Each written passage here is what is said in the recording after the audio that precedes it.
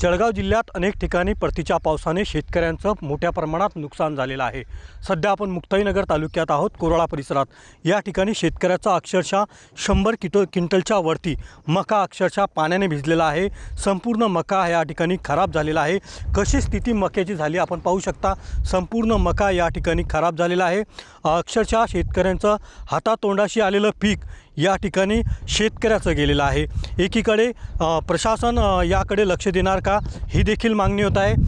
दसरासारखा दसरा आणि दिवाळीसारखा सण आणि मक्याला या ठिकाणी कशा प्रकारे कोंब आलेले आहे?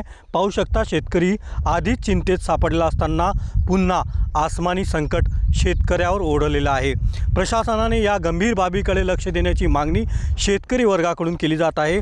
आतोनात शेतकऱ्याचं नुकसान. या काल झालेल्या परतीच्या पावसामुळे शेतकऱ्यांचं नुकसान झालेलं आहे. जवळपास पाच ते सहा तास मुसळधार पाऊस मुक्ताईनगर तालुक्यातील कुरा परिसरात पडला. यामुळे शेतकऱ्यांचं अतोनात नुकसान झालेलं आहे. मका पीक स- सह इतर पिकं देखील खराब झालेलं आहे. आपण पाहू शकता कशा प्रकारे शेतकऱ्यांचं या ठिकाणी नुकसान झालेलं आहे. संपूर्ण मका शेतात ठेवलेला हा भिजलेला आहे. शेतकऱ्यांना या ठिकाणी मदतीची मागणी शेतकरी वर्गाकडून केली जात आहे. आपल्यासोबत शेतकरी आहेत. काय व्यथा आहे तुमच्या? सध्या मका भिजलेला आहे तुमचा.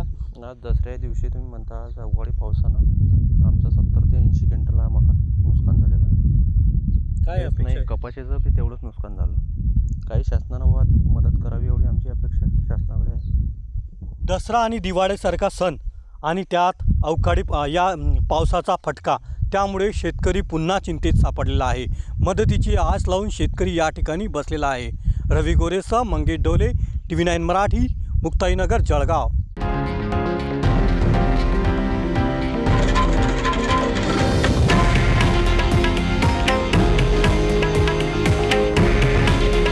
हे आहे देशातील नंबर वन न्यूज नेटवर्क.